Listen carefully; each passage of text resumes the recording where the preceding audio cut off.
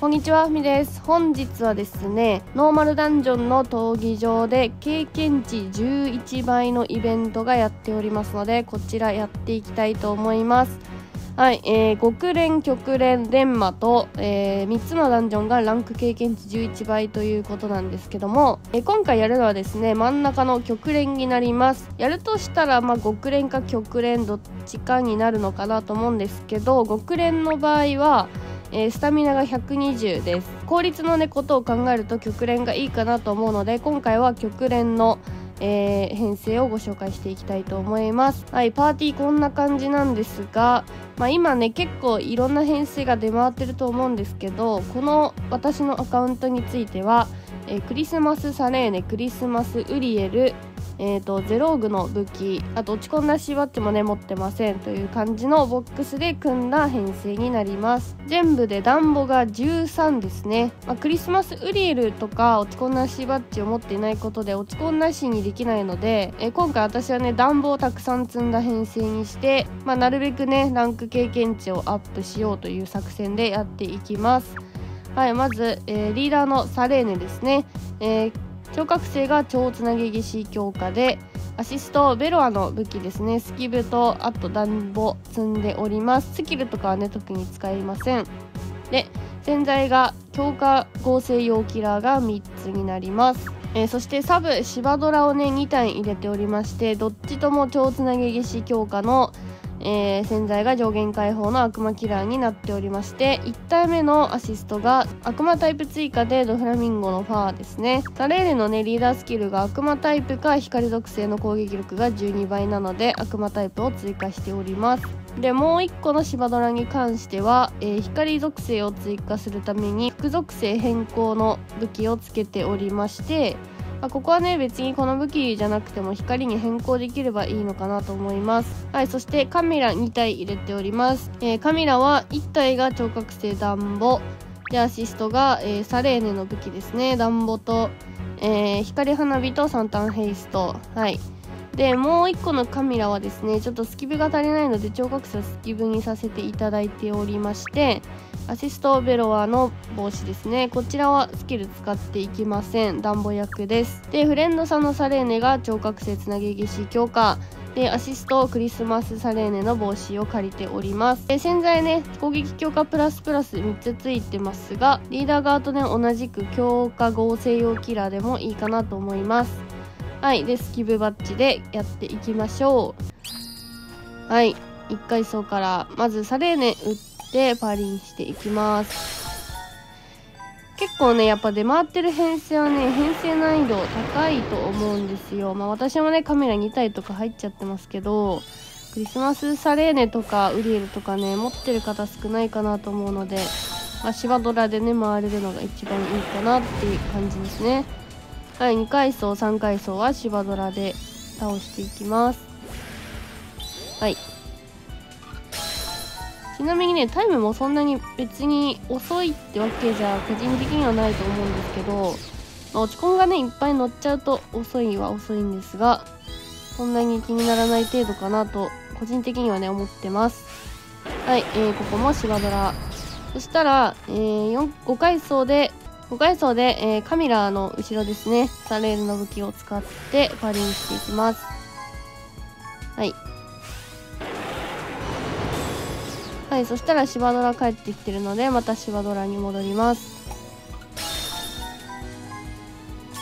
ああ落ち込んが乗っちゃった。はい。でまたシバドラです。まあ、この敵にはこのスキルっていうのが特にないのであの本当に打つ順番さえ覚えてればというか楽かなと思います。でここに来たら一番右のサレーネ使ってはい。クリスマスサレーネの武器ですね。はい。そしたら次が、えー、一番左戻ってサレーネです。ここから左から順番に押していきます。はい。で、えー、シバドラ、シバドラ、打っていきます。なので、カメラの、一番右のカメラに関しては触りません。本当に暖房役で連れてきたって感じですね。はい今回あざ通すですが悪魔キラーついているのでしっかりと突破することができます。はい OK これでですね経験値が経験値が2700万とかかな？結構ね出てくる敵によって左右してくるのでちょっともう一回ね回りましょうか。いやまあ次の10代リセットでね1100メモリアルが追加されるっていうことで、まあ、今ね1000乗っててでその後全然スキル上げしないよっていう方絶対多いと思うんですよね。まあこの機会ですよ。せっかく11倍ですし。まあ効率とか考えるとまあダンジョン他のダンジョンね裏マロとか行くっていう裏足がとか行くっていう手もありますけどまあ報酬とか効率とかね考えたらやっぱり6連が一番いいかなと思います。今ねスタミナ回復もね4回できますしそれを効率的にコロシアムがね来てない今ですよやるなら。はい。私も今ランクが1063とかだったな。なんであとまあ40上げとかしなきゃいけないんですけどマジで3月末。3月末までには上げておきたいな。間に合うかな。ちょっと間に合いたいね。はい。いやでもカメラ2体引けてるの結構勝ちだよな。なんなら、このカメラのシリーズのさ、珍実現って他に何がいたかわかんないけど、引けてないんですよ。カメラだけ2体引けてるっていう。偏り。はい。で、9回でサレーネに戻って、